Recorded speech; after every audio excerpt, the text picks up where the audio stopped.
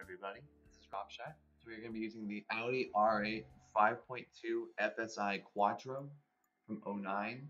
So this is basically just a better version of the first R8 I used in about, I don't remember how long ago it was, but I did a video with the first R8 that you can get in the game.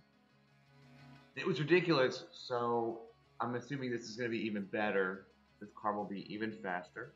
So get ready. I have not. I just bought it and I just tuned it. I haven't actually done the gear stuff where I just moved the thing over.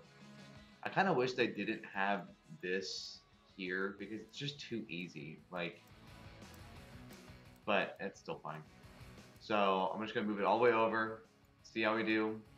If it's too slow, I'll edit out. If I reach my top speed, I'll edit it out and then show y'all what I actually do to change it. But for now, this is where we'll be. So Thank y'all for watching and be sure to like, subscribe, comment. Good stuff. Y'all are awesome.